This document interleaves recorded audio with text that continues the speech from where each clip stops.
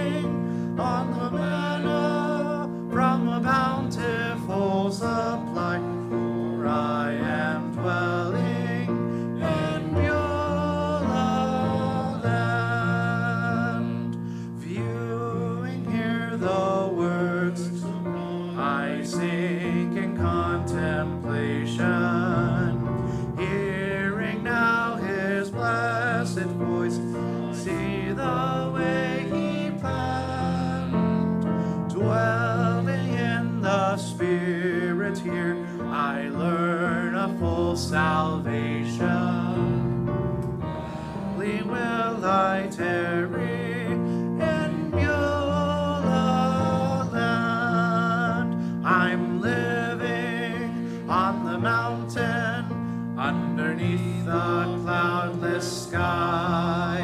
I'm drinking at the fountain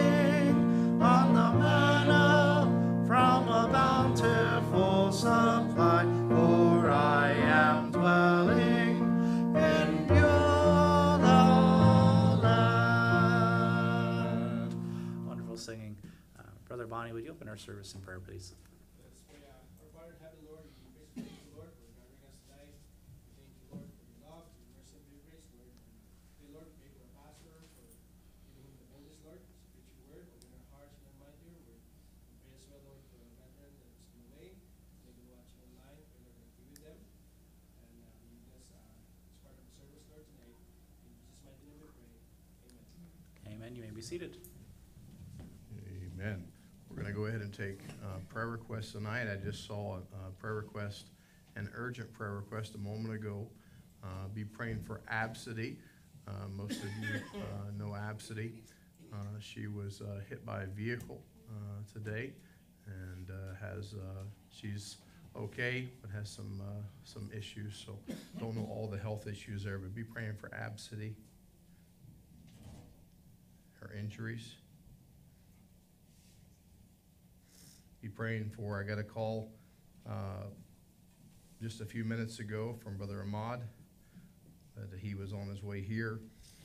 And uh, just before he got here, just feeling really sick, so decided probably not a good idea to be here tonight. So be praying for him as he is sick. Be praying for uh, Rebecca and Hannah, my daughters. They're going, they're helping uh, Brother Newman uh, this week. They've been the last couple nights, and they'll be tonight and tomorrow. Uh, He's having a special meetings there. They're uh, watching children down there for him, helping with the meeting. So be praying for them as they're ministering there tonight. Any other new, new prayer requests this evening? This guy. Father Greg, uh, from Western Saskatchewan. Uh, a few weeks back, he told us he, uh, went to a nurse room and he found some blood clots in his leg. And, uh, he was in there for a few days, but then he came back home. So on medication, getting some lifestyle effects. Okay, be praying for uh, Greg, that's, uh, uh, what's your name? Colton's, Colton's brother, sorry, my brain cells aren't working. I saw a hand over here who had their, or maybe I didn't. Yes, Uh, pray for everyone flying in for the wedding dinner we have on next week. oh, they're not coming, they told me. Well, pray for those coming for the wedding.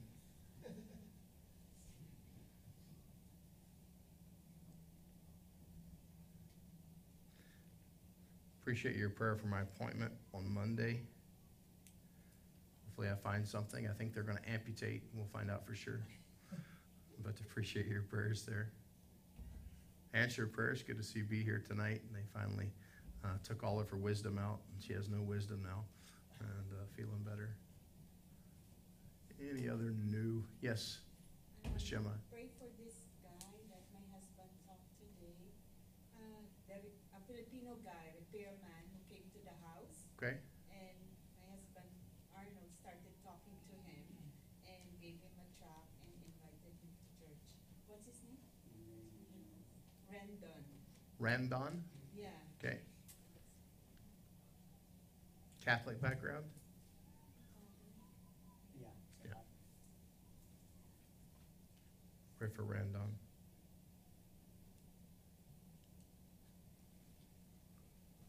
Yes, ma'am. Praise God for the answered prayer of distress for my sister finally come to visit us Wonderful. and uh, Welcome. How long? How long has she been here now? um, more than thirty days. But she's go- going back to the Philippines on Monday, so please pray. Oh, we'll be praying. Pray for traveling mercies. Thanks for being with us. We're glad to have you. Miss Ada, before I forget, after church, I need to ask you a quick question if you'll come see me. Yes, sir. Well, um, got a kind of half-answered prayer. My, uh, niece came home, so, Oh, praise the Lord.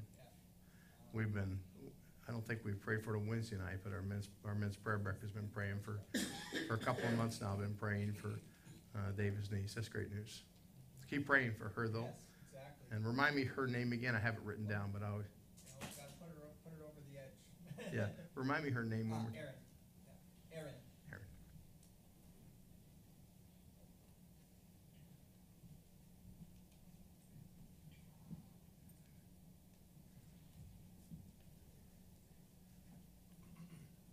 Yes, sir. Just for our family still, tip, not, sort of off, a little bit sick, a little bit getting better and keeps coming back. If you start drinking coffee, brother. I might die. Amen. Be praying for the Mohammed family.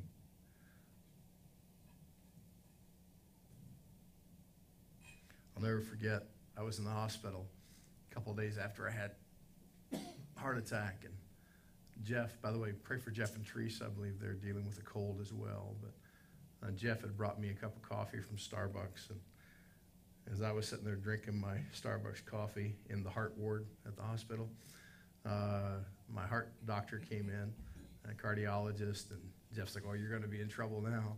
And my heart doctor walked in. He looked, said, "Oh, you like coffee?" I said, "Yes, sir." I said, "I drink a double espresso every morning, drink coffee all day long." He said, "Good. It's good for your heart. That's why you're doing so good. Keep drinking it." So uh, that's why I like my doctor. Amen. But uh, any any other new prayer request uh, tonight? Any other new? Yes, sir.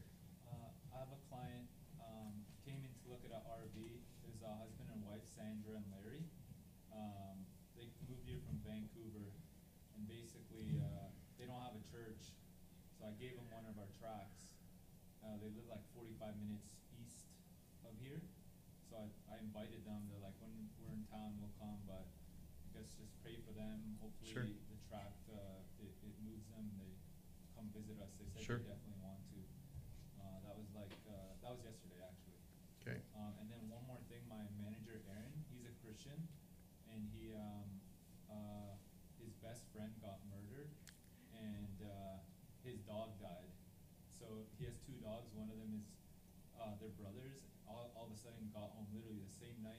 Friend got murdered, his dog died, so he's kinda going through a tough time, he was off today.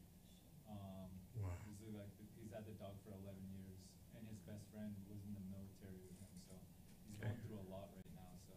Okay. What's his name again? Aaron, Aaron.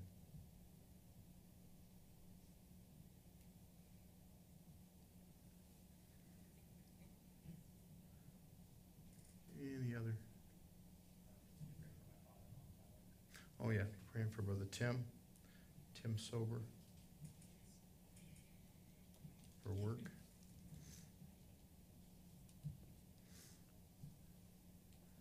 Any other new? Yes, Ruby. Dolly for salvation? What's the name? Dolly. Dolly.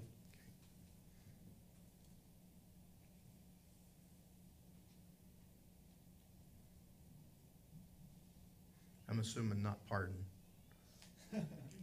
You praying for Dolly? We're praying for. Pray for both of them, maybe. We're praying for her pardon. Amen. There, I like that. I like that, Ruby. How to preach right there. I like that. Any other, any other new, new prayer request this evening? Of course, we have many folks, many folks sick, kind of cold, cold going around. Most of us have already had it or you're gonna get it. And, uh, be praying for those folks. Um, believe that's, any, anything else quickly? All right, let's go ahead and go to prayer this evening. Lord, thank you.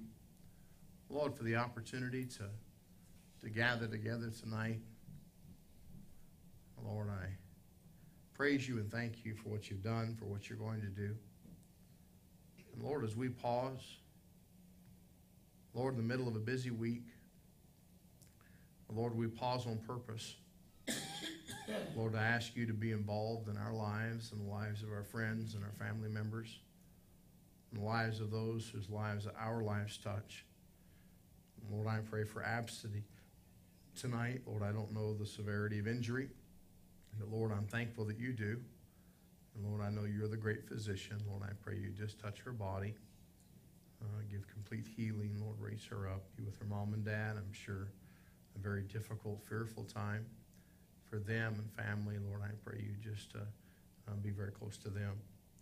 Pray for Brother Ahmad tonight, Lord, as he's not feeling well. Lord, I think of uh, Lord Teresa and Jeff, Lord, as well. I believe a cold situation there and others that are not able to be here tonight. Lord, I pray you be with them. Pray you be with Rebecca and Hannah, Lord, as they're ministering there in the Capital City this evening. Lord, I pray you just uh, use them to be a blessing. Uh, Lord, I think of Greg, Colton's brother. Lord, I pray for the physical issue there, the blood clots. Lord, as well, I pray you'd help him as, Lord, he looks at the direction of life and decisions ahead. Lord, I pray you give him the, the mind of Christ, give him your wisdom, bless him. Uh, Lord, I pray you be with him as, as he leads his family. Uh, Lord, I pray you just uh, minister to every, every need of his heart and his life and his health. Lord, I do pray for those that are traveling in the next week, Lord, for the wedding. Uh, Lord, all the preparations for that and details. And, uh, Lord, just ask that you would be glorified and honored there. Thank you that, uh, Lord, you created uh, man and woman. Lord, you designed marriage. Lord, thank you that uh, we can glorify you and honor you, uh, Lord, as we see that pictured out here in, in public. Lord, I pray you just bless that, those traveling. Uh, Lord, I pray you'd be with the appointment I have on Monday. Lord, I pray you'd help me to get some direction and find out what's happening here. Uh, Lord, that way we can start making a plan going forward. Uh, Lord, just asking for healing. Lord, I pray I uh, wouldn't need surgery, but Lord, if I do, I pray that you get it scheduled soon. Lord, I pray you'd uh, be with this Randon, this man that Arnold got to speak with. Uh, Lord, I don't know the condition of his soul, but Lord, I pray you'd use the, the witness. Uh, Lord, I pray that he'd see you, his need for you. Lord, I thank you for the praise report that David shared of his niece coming home. Lord, we've been praying for her. Lord, I pray you continue to be with her. Lord, I know there's a very difficult situation. Lord, I pray you just bless. Lord, I thank you that you're able. Lord, I pray that she would see you. Lord, I pray for the Muhammad family. Lord, I know they've been struggling health wise as well. Lord, I pray you just give complete healing there and bless them. Lord, I think of these clients that John spoke with yesterday that don't have a church home, uh, Christians outside the city. Lord, I pray that they would, on the gospel track yesterday, would spark their reminder by your Holy Spirit that they need to be involved in a local home church. Lord, I pray you just encourage them. Lord, I think of this man, Aaron. Lord, a couple of very difficult blows. Lord, I think of all the family associated with this, the friend that was murdered. Lord, how many must be hurting and reeling over the brokenness there. And Lord, on top of him losing a friend, losing a, a pet of many, many years. Lord, I pray you just give comfort. Lord, I pray you just be close to him. Lord, I do pray for Brother Tim. Lord, I pray you'd give him direction, lead him for work. And Lord, that he'd find the exact place that you have for him. You'd meet his needs. And Lord, I pray for this lady, Dolly, that Ruth met that is lost. Lord, we do pray that she would see her need of a Savior. Pray that she would realize that you are the only hope, that you are the answer. Lord, I thank you for Ruth, you know, or Ruby being able to talk with her. Lord, I pray you just uh, bless uh, the witness there. Lord, I pray for other needs tonight. Lord, I think of those that are not able to be here this evening, those that are under the weather, Lord, those whose schedule won't allow them to come. Lord, as well, I think of those who are wandering from you in their heart, in their mind, in their life. Lord, I pray you would draw them close to yourself. Lord, as we talked about on Sunday, this matter of maturing, Lord, help us as we strive together in maturity to encourage one another in growth. And Lord, I help us to see those that are struggling, that we might lift them up, that we might encourage them. Lord, I pray for our city. I pray for the need of the gospel here. I pray for laborers to go forth into the harvest. I pray not only for our harvest here, but all across our country. And Lord, the great need. And Lord, the great need of laborers. Well, the harvest is there. We just need laborers. The gospel is there. We just need laborers. Lord, I pray you'd send forth laborers. Lord, not just here in our country, but Lord, as we look around the room and we see flags representing a few of the countries around our world, Lord, I pray for those countries, but I pray for others in places where there is no gospel witness. Lord, that you'd raise up laborers. Lord, I pray that you draw men to yourself. Lord, I pray for missionaries tonight, those that we have an opportunity to minister with, partner with. Lord, I pray you'd bless them. Uh, I pray you'd meet their needs. Uh, Lord, I think of the Jackson family tonight. Lord, I pray that you would uh, be with them as they minister here in our city. Uh, Lord, as I just uh, read in a prayer report just yesterday, Lord, I pray you be with Brother Jerry as he's facing a few health issues and concerns. Lord, I pray you give the doctors wisdom. um, blessed there, Lord, as well. A vehicle accident this month and no one injured, but uh, lack of a vehicle, giving them a need. Lord, I pray you'd meet that need as well. Just be with them as they endeavor to reach the area of Edmonton where they are. Uh, Lord, would you bless them? Uh, Lord, as you help them to, to minister to the hurting hearts of people here in our city. Uh, Lord, I pray you just uh, meet their needs, provide for them. Uh, Lord, we ask for your help, uh, Lord, to give us direction and focus, Lord, as we seek to follow your purpose. Lord, we ask for your perfect will here. Lord, we ask for you to be glorified and you to be uplifted in all things. Lord, may your will be done tonight. In your precious name we pray. Amen.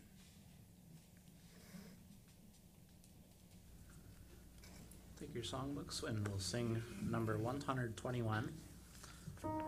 At the cross, number one, two, one.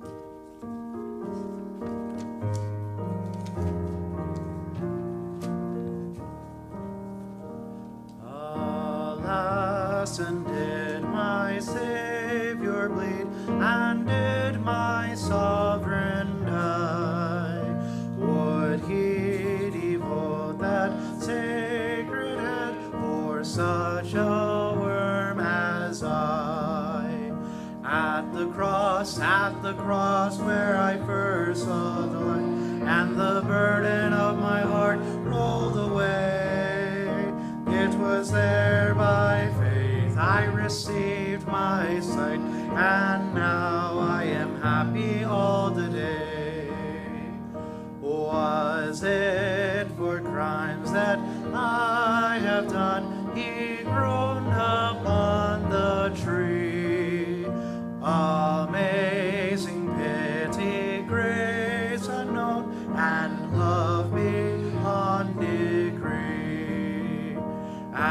cross, at the cross, where I first saw the light, the burden of my heart rolled away. It was there by faith I received my sight, and now I am happy all the day. Well might the sun in darkness hide and shut his glories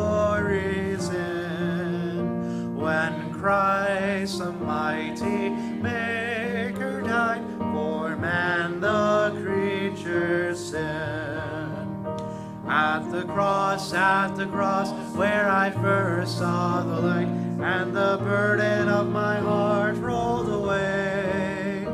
It was there by faith received my sight, and now I am happy all the day.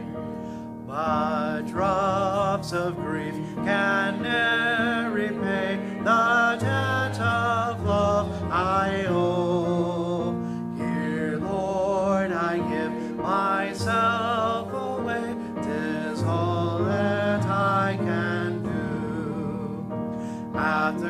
cross, at the cross where I first saw the light, the burden of my heart rolled away. It was there by faith received my sight, and now I am happy all the day.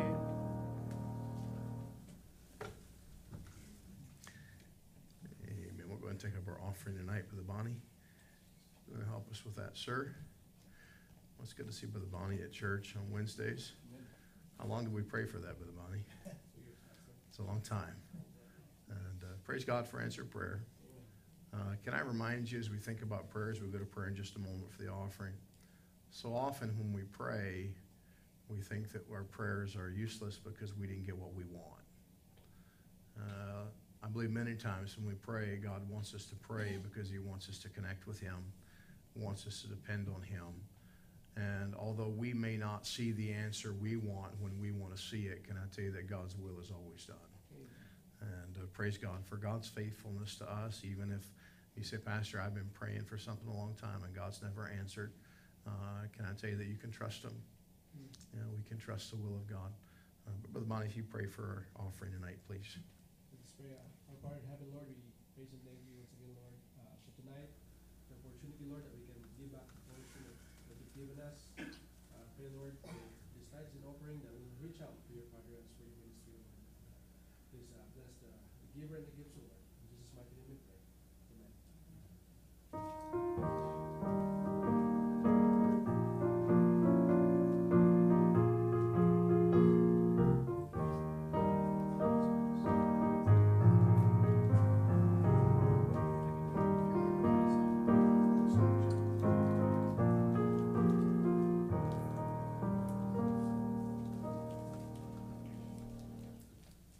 few announcements before we sing our next song.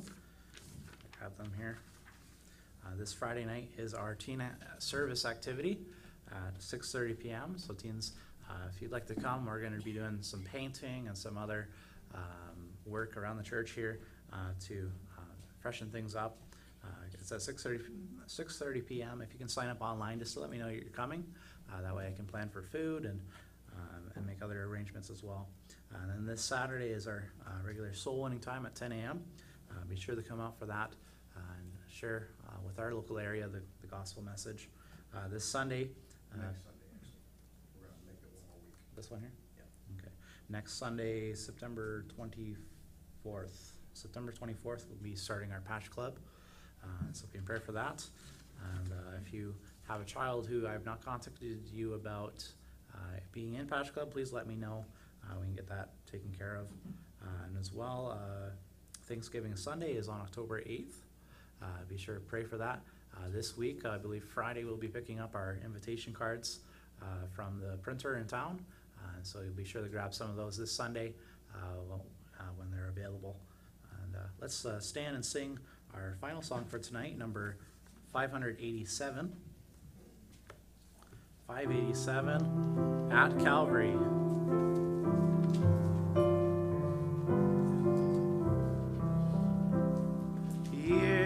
I spent in vanity and pride, caring not my Lord was crucified, knowing not it was for me he died at Calvary.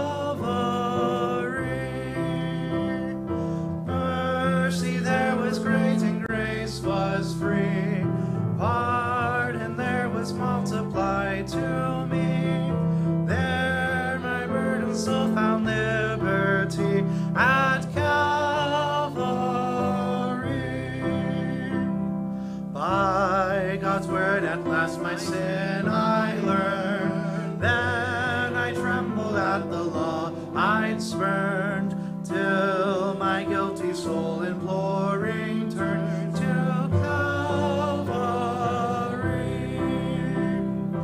Mercy there was great and grace was free.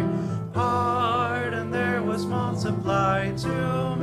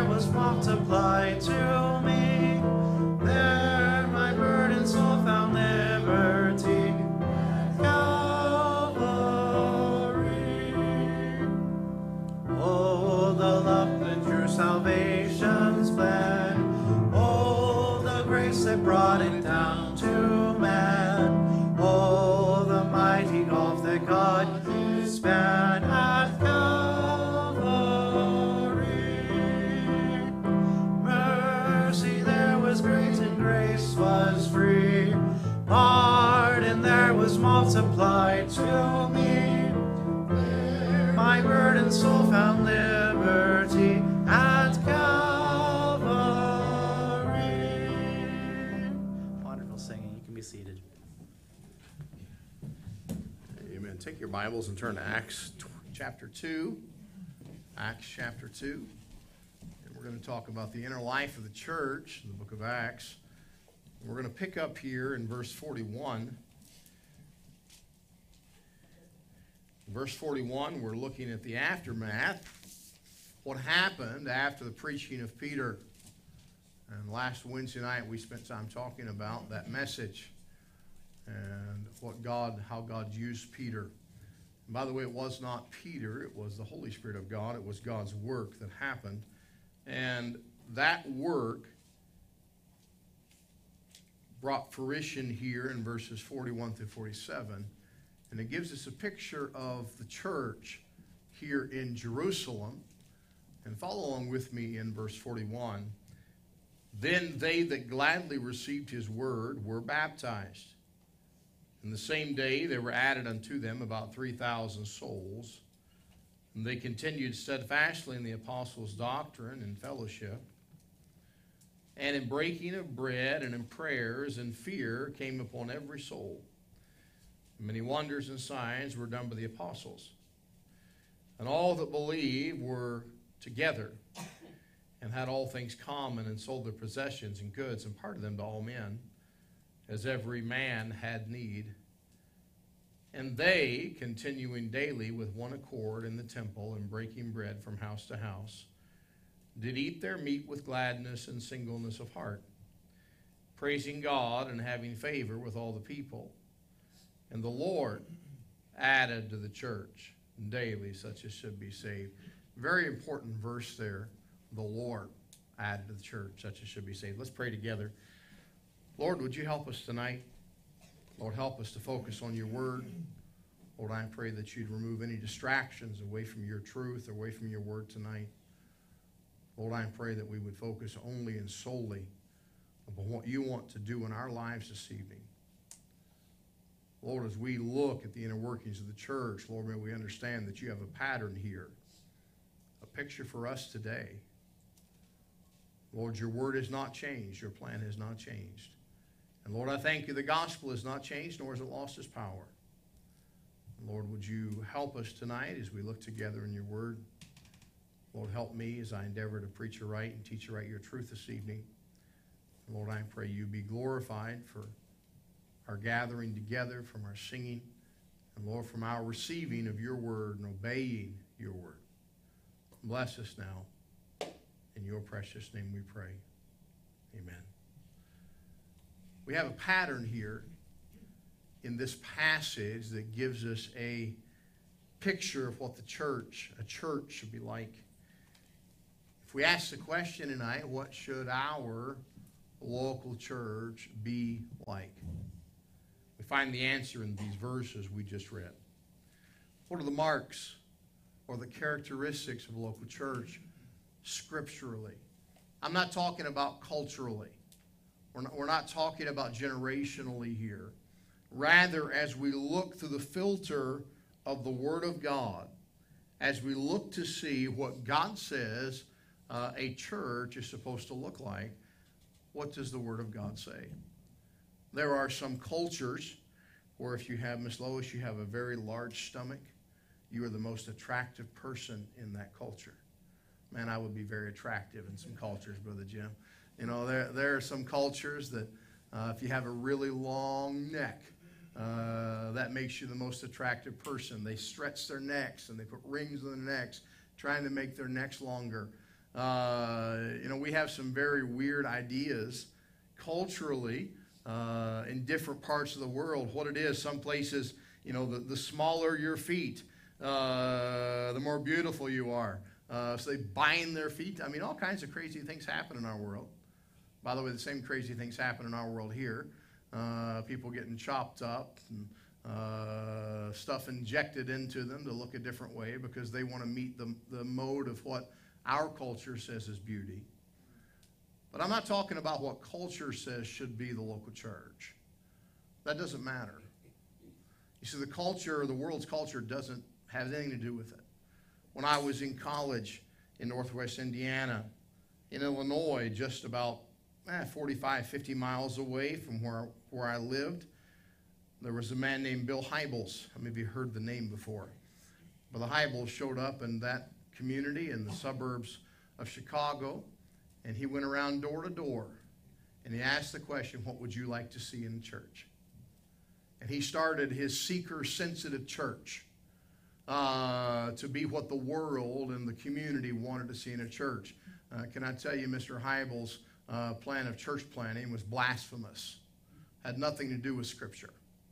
Uh, the reality is, what God says a church should be is God's determination, not culture's determination. By the way, not our preference, not what we want. What does God say? And tonight I want to give you just a few things tonight about some marks or characteristics of a true church. Number one, we see that this church, this pattern church here in Jerusalem, was spiritually constituted by Christ. This church was spiritually constituted by Christ. That means it was not the work of man, but God's creation. I have in my kitchen a espresso machine. Beside that espresso machine, I've got a thing called a knock box. How many of you know what a knock box is? Uh, You knock your espresso portafilter to knock the espresso puck out of the portafilter. And it goes in there, and then you can throw it in the garbage later.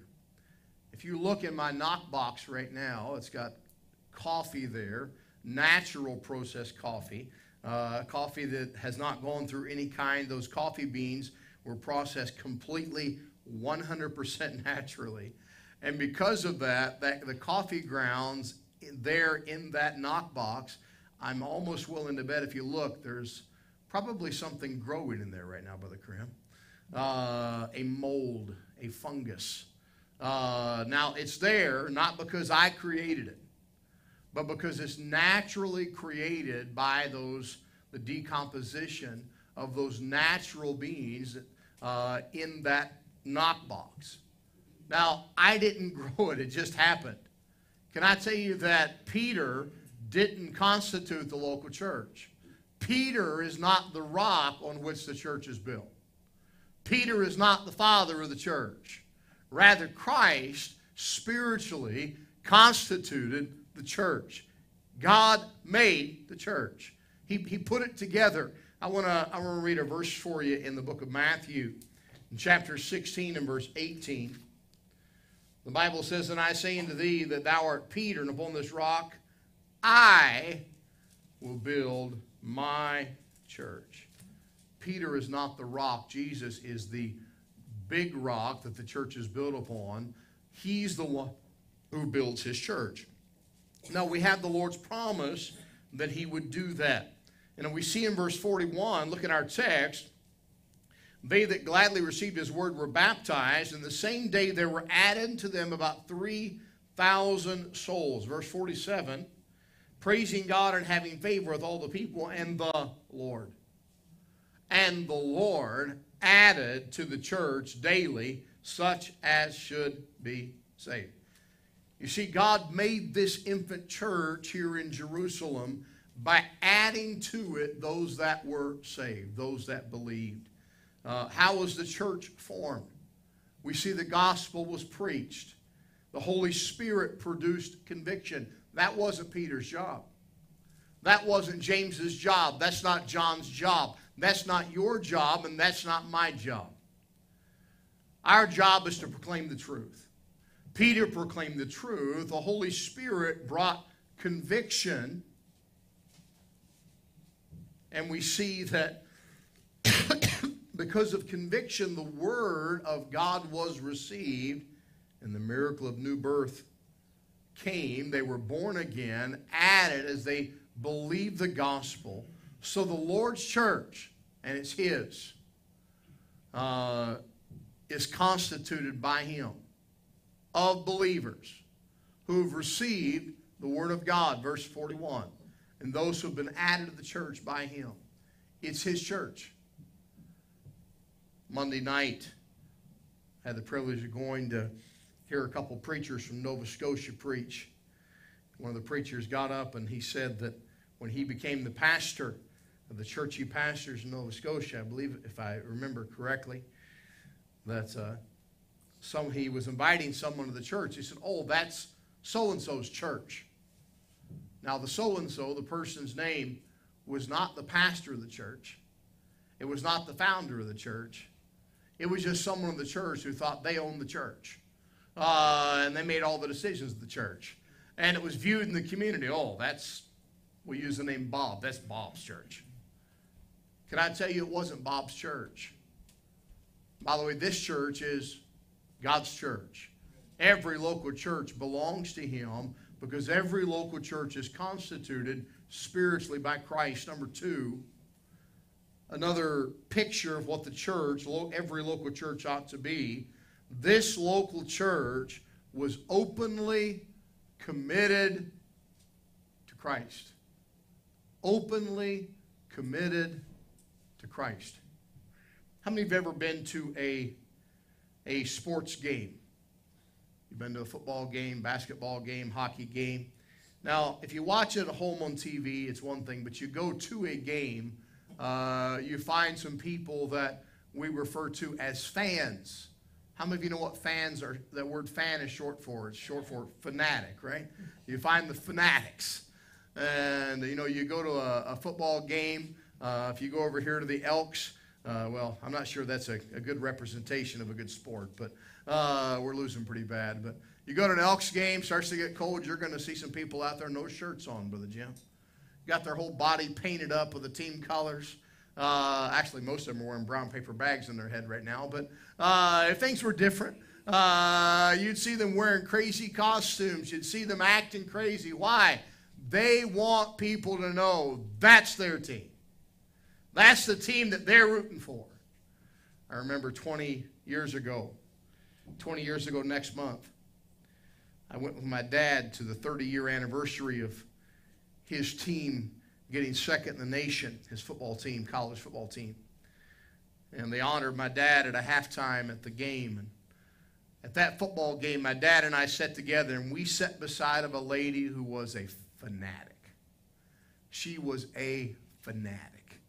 And man, every time Glenville, my dad, the school was Glenville, every time Glenville uh, scored, or every time Glenville had a good run, or completed a pass, or got a first down, she went nuts.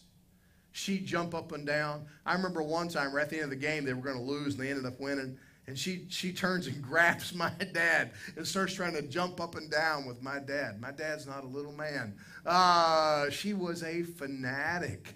She was committed to the Glenville football team. This church was openly committed to Christ. The people in this passage of Scripture here in verse 41 through 47 had heard the gospel as Peter preached it. By the way, it wasn't a comfortable gospel.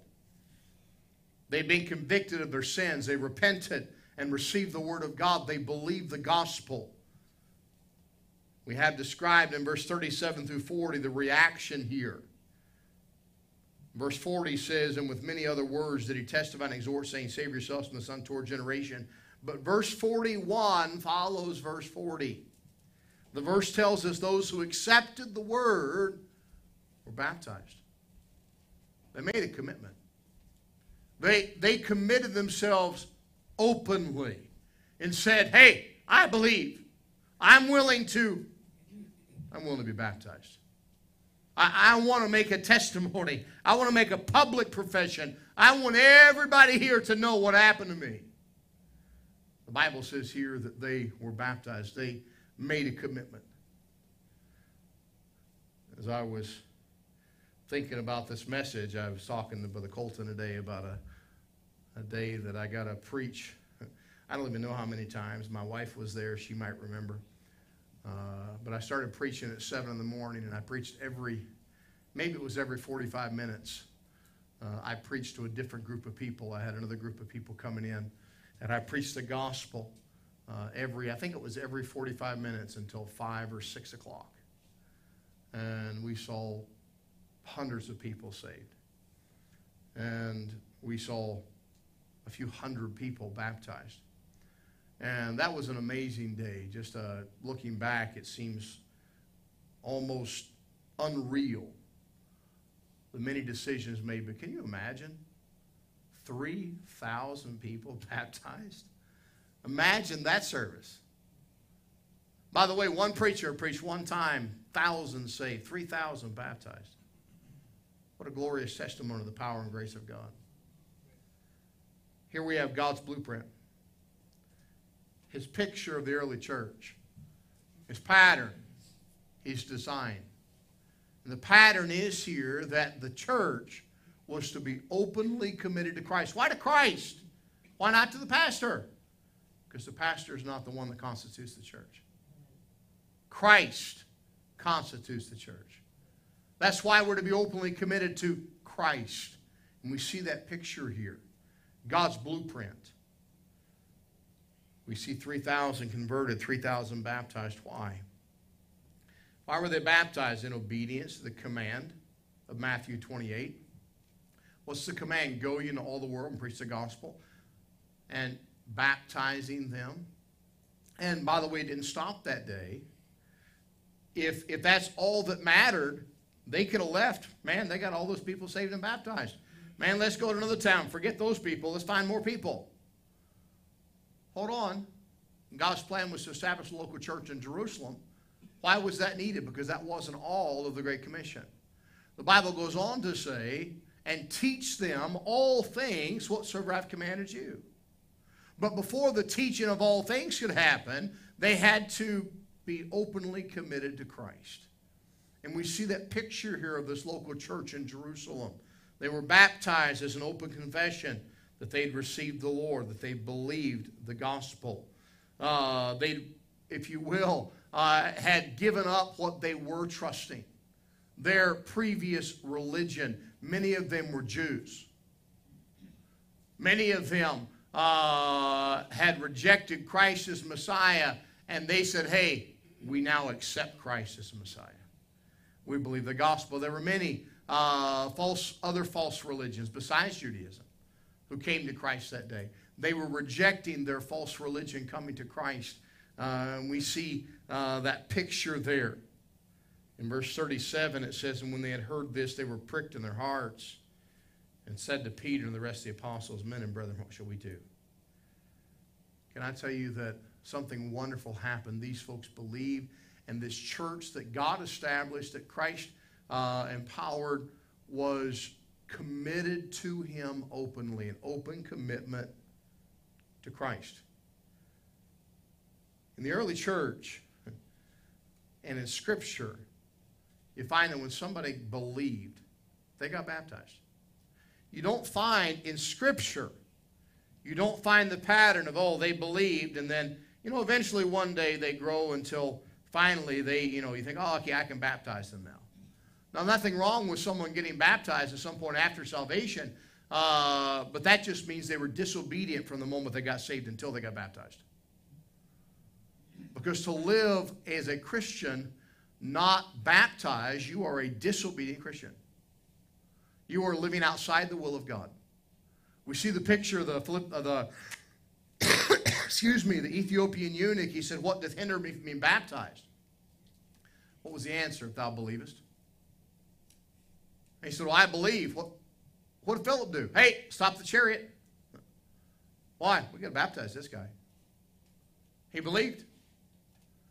That picture throughout Scripture, by the way, should be the same today. Should be the same today.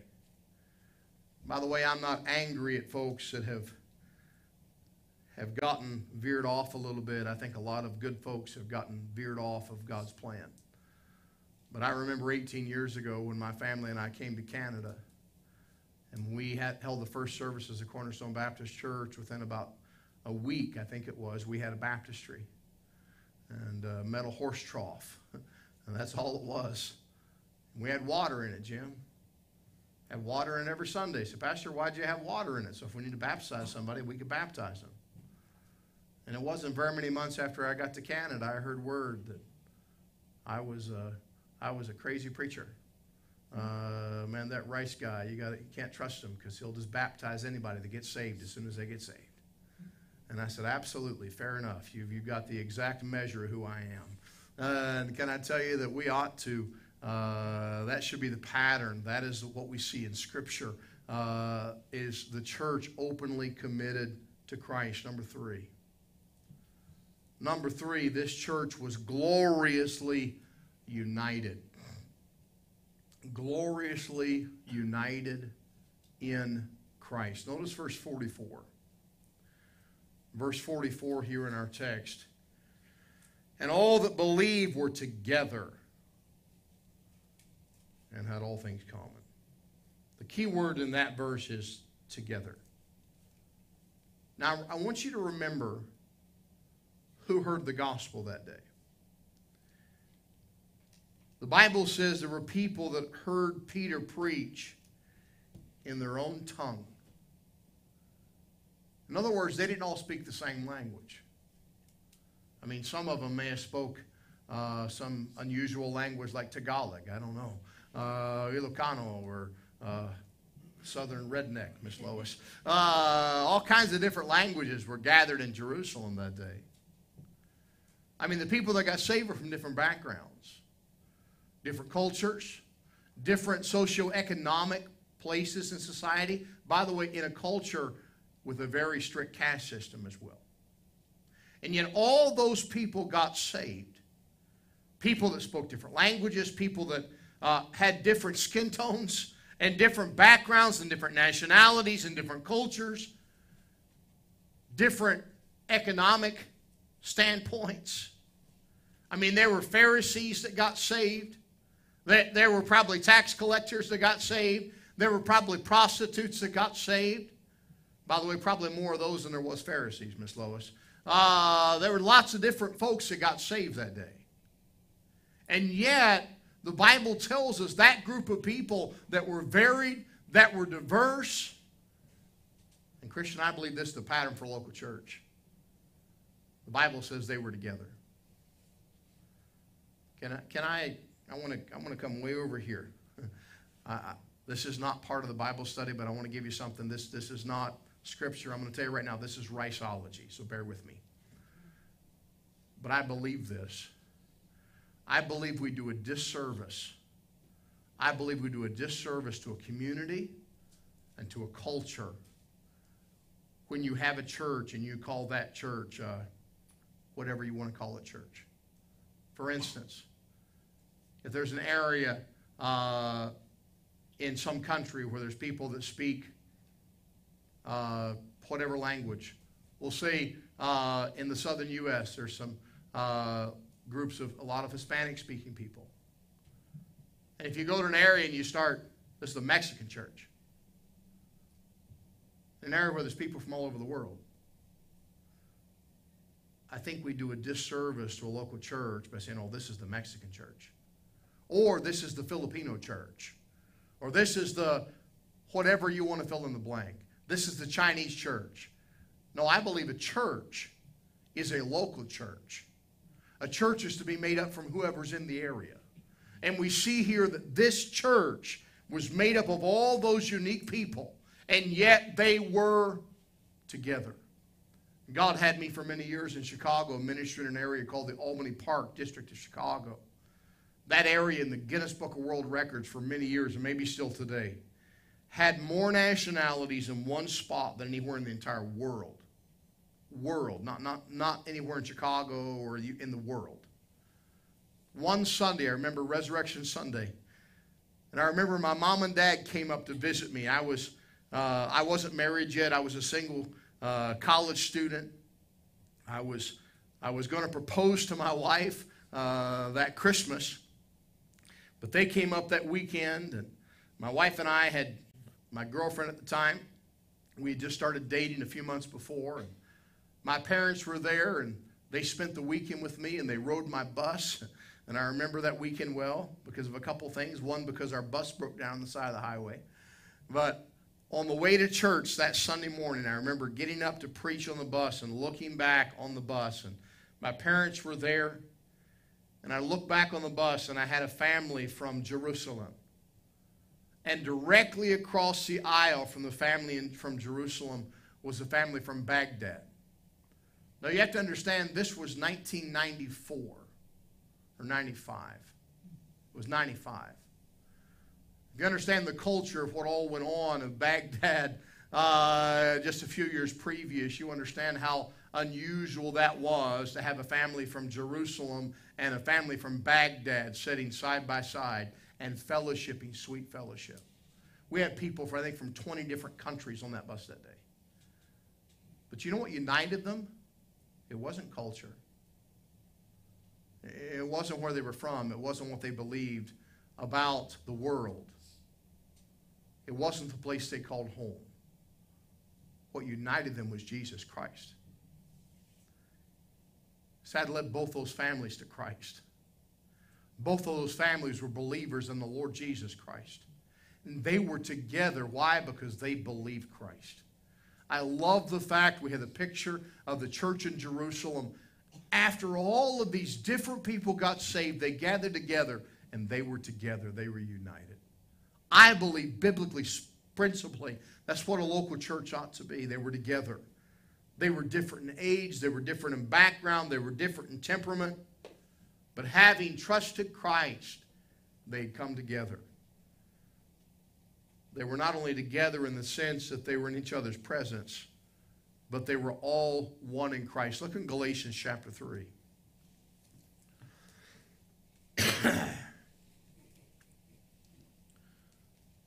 Galatians chapter 3 and verse 28. There is neither Jew nor Greek.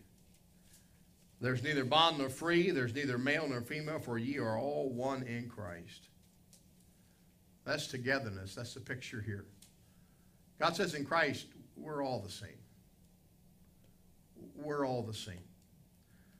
That togetherness. Now, I want you to turn back to our text. And I want to talk to you about what that togetherness means, what it is.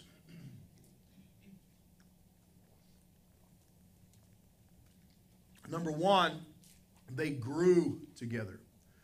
They grew together. Verse 42. They continued steadfastly in the apostles' doctrine and fellowship, and in breaking of bread and in prayers. They were babies in God's family.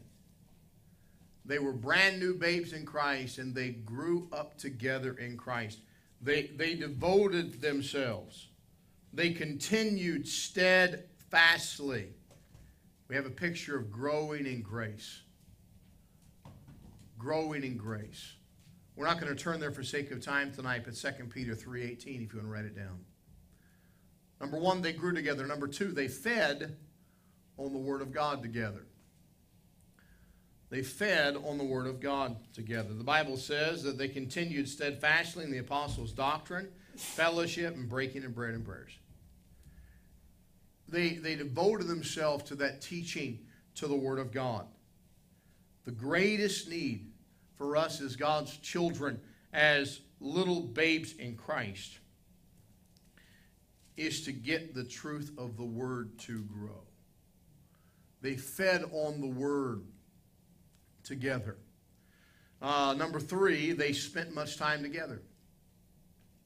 Uh, they, they, didn't just say, oh, yeah, yeah, we're, we're Christians now.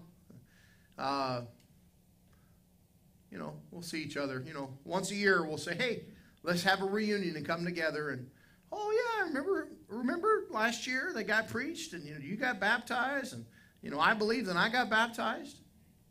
No. They gathered every Lord's Day. They didn't forsake the assembling of themselves together. They, they spent much time together. That's how they, you know, the folks you see once a year, you may love them, you may care for them, and I know there are many folks you'd like to see more often, but there are folks you don't get to see often, but you are much closer to those that you spend time with. That togetherness came from that time spent together. I want to turn back to the Old Testament just for one second and read just a, just a verse for you.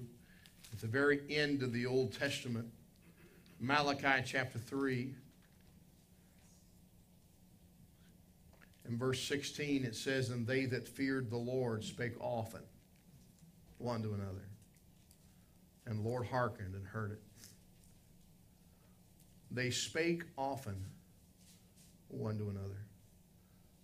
That's what it ought to be. That's the picture of the local church. They spent much time together. Not only that, they, number four, they remembered the Lord's death together. How did they do that? Through the Lord's Supper. The Bible speaks that breaking of bread, there's two connotations there. not only did they share meals together, I believe they did that, but also they broke bread as they remembered the Lord's death, as they were commanded by the Lord in that upper room. As they remembered that picture of Christ coming. At that table, the Lord's table, we look back to Calvary and up to the throne and look for his coming. Verse 42 as well, we see a picture and in prayers. They prayed together. They spent time together. They remembered the Lord's death together. They prayed together. Verse 44 and all that believe were together. There's the word again. And had all things common. We see the grace of generosity here that existed here in this early church. They shared. We see the pattern of, of meeting the needs of others. Acts chapter 20 and verse 35 says, And I have showed you all things, how that so laboring ye ought to support the weak, and to remember the words of the Lord Jesus, how he said, It is more blessed to give than to receive. They shared. And lastly, as we think about the church being gloriously united in Christ, number seven, they rejoiced together. They rejoiced together. In verse 46, it says, And they continuing daily with one accord in the temple and breaking bread from house to house did eat their meat with gladness and singleness of heart. In verse 47, praising God and having favor with all the people. They rejoiced together. They, they thrilled together. They joyed again and again together over what God had done. That's God's pattern for being united. That's how God could take a group of folks that spoke different languages and came from different backgrounds and bring them together and they could be united. They could be together. They could all be together because they followed the pattern of God. Number four. Number four, and finally tonight, this local church was dynamically empowered through Christ.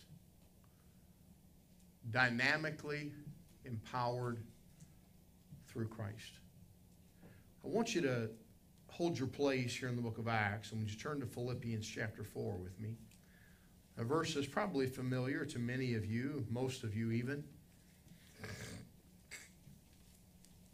Philippians chapter 4 and verse 13. Verse we looked at just a couple of weeks ago, but I believe very important for our study as we close this thought tonight. I can do all things through Christ, which strengtheneth me.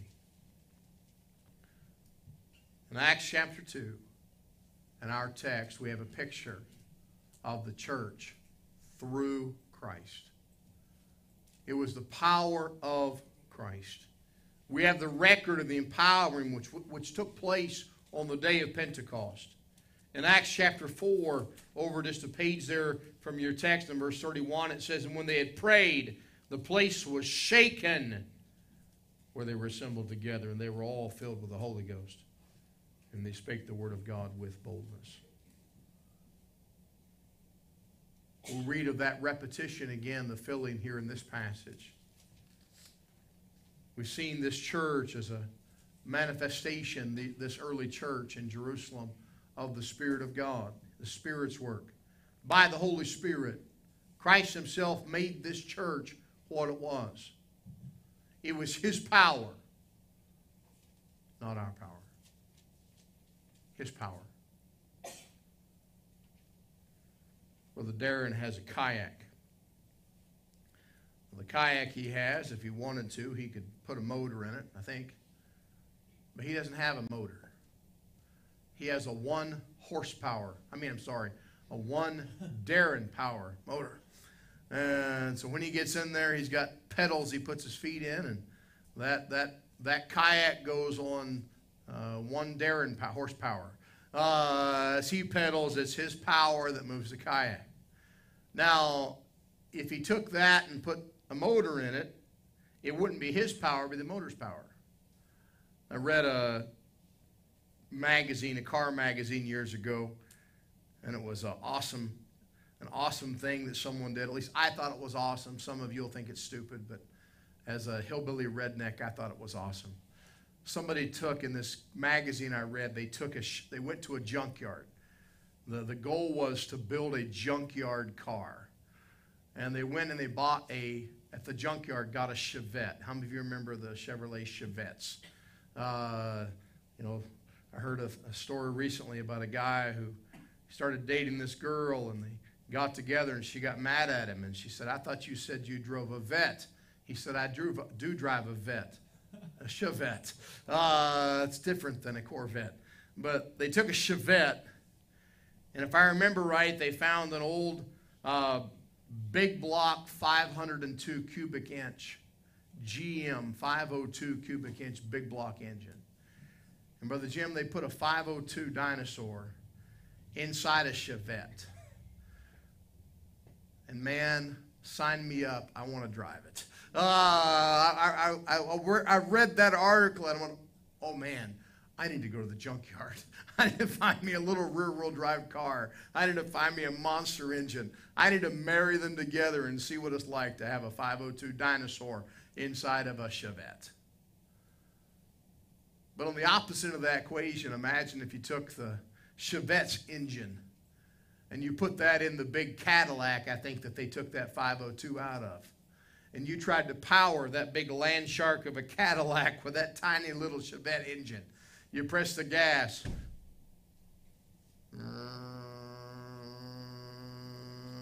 Finally, the wheels would start to move. Can I tell you, if we power the local church in our power, we go nowhere.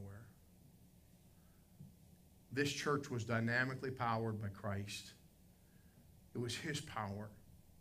Two unique ways in which the empowering of the local church in Jerusalem, in which empowered the local church today, affected the members of that local church there, and I believe will affect us today. And not only the members of the local church of Jerusalem, not only us today, but those inside the reach and the scope and the umbrella of the local church. Number one, the church members were characterized by holiness. How's that possible with the power of God? They were characterized by holiness, which made an impression on everyone. In verse 43, I want you to notice the words. And fear came upon every soul, and many wonders and signs were done by the apostles. These, in the early church, as we see in verse 47, the Lord added to the church daily such as should be saved. They were having favor with all the people.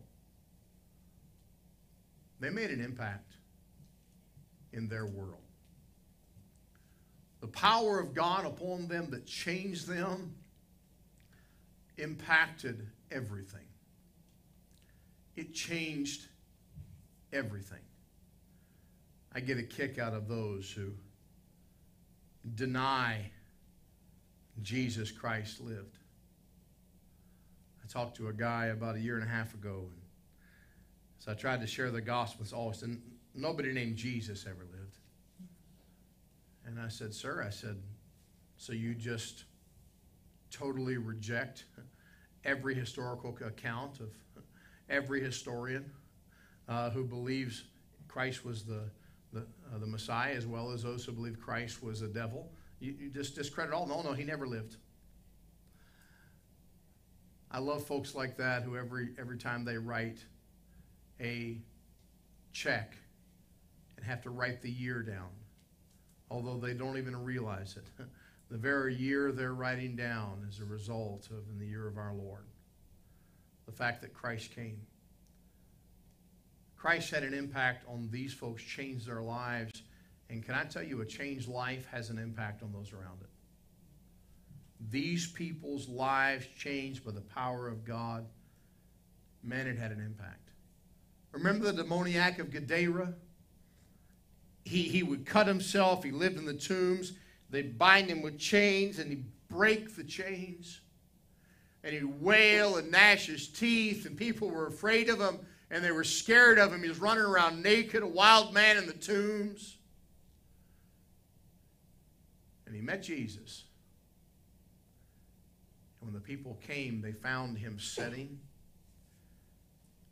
and clothed and in his right mind, and the people were scared to death. Now, hold on a minute. If I've got a man sitting down, clothes on, and his right mind over there, and I got a crazy man naked, cutting himself, yelling, screaming, breaking chains right here, which one are you afraid of? I'm afraid of that guy. Can I tell you why they were afraid of that guy? Because they knew there was somebody there more powerful than the crazy man. It was not the wild man they were afraid of, they were afraid of Jesus Christ. They were fearful because they knew there was a power that had transformed this man that was more powerful than him. And can I tell you, a power more powerful than me, more powerful than you, has transformed me and has transformed you as a believer and transformed the early church. And they had a great impact and impression on everyone around them. And number two, we'll close with this thought tonight. Verse 43 The members of this church in Jerusalem were characterized by power. Verse 43, it says, In fear, came upon every soul, and many wonders and signs were done by the apostles. I want to ask you a question tonight. Are we powerful or are we pitifully weak? And that's a double edged question. Because we are fleshly weak. But we have all power. We have all power. We have the power of God. The power to use us. Acts chapter 1 and verse 8. I want you to turn there as we close. The central theme, not the center verse, but the central theme of the whole book of Acts. Acts 1 8, but ye shall receive power. After that, the Holy Ghost has come upon you, and ye shall be witnesses unto me both in Jerusalem and in all Judea. By the way, we've gotten to the Jerusalem part so far in the book of Acts. That's where we see the witnessing happening. But that power was to take it from Jerusalem and into Judea and in Samaria and into the uttermost part of the earth. That's a power. A power of God, not the power of men. A power of God, not the power of Peter. A power of God, not the power of Paul. As we think about the local church, you're dynamically empowered through Christ. Christian, can I tell you that He's still the one that empowers us? He's still the one that empowers us. He's still the one, still the one that has the power to give you to share Christ boldly, to live for Him boldly, to have an impact on your family, on your culture. Susanna Wesley, not a preacher, just a godly mother. A godly mother that knew that the hand that rocked the cradle shapes the world. Susanna Wesley, just a Christian mom, just a Christian housewife and mother. Every day spent time with one of her children, taught them, trained them, loved them. And she had a lot of kids. Susanna had a couple of boys who would go on to preach boldly Christ in amazing ways. It was the power of God through Susanna Wesley that she, God used to reach her boys. She never preached a message, but her boys did. I think of Dr. Lee Roberson. He's been in heaven a long time. Dr. Roberson, who was the pastor of the Great Highland Park Baptist Church and Tennessee Temple University for many years. Dr. Roberson, I heard him tell his testimony many times. I can still remember the name of the lady that won to Christ. Told the story about going to a Sunday school in a Baptist church, and a lady named Daisy Halls shared with him the gospel of Jesus Christ. As a young boy, Dr. Roberson was saved. I know the name Daisy Halls only because he repeated that name over and over again as he would share his testimony. But in her life, very few people knew Mrs. Halls. Just a country lady, a simple country lady that taught a simple children's Sunday school class in a very small rural country church at the turn of the century. But because of the power of the Holy Spirit, empowered Mrs. Halls to love the children in her Sunday school class, uh, a Dr. Lee Roberson would impact the world. Christian, the members of this local church were characterized by the power of God and God's power being used through them to reach others who reached others, who reached others, who reached others for the gospel. As we have the pattern of the local church, let's pray together. Lord, help us, Lord, to see, Lord, that you're the one that establishes the pattern for the local church. Lord, it's not up, up to us to tailor the church for our culture or our time period or our place, our country or our preference. God, may we follow your plan. Lord, may we be reminded that you're the one that gives life to the church. Lord, may we be openly committed to you. Lord, I pray and I thank you for the unity that we enjoy here. Lord, how wonderful that is. Lord, maybe unique in, in our world today, but not unique in your plan. Lord, I thank you for the unity we can have of being together. Lord, I thank you that we, just like the church in Jerusalem, are empowered and to be empowered dynamically through you. Lord, you want to use us to affect our world, our culture.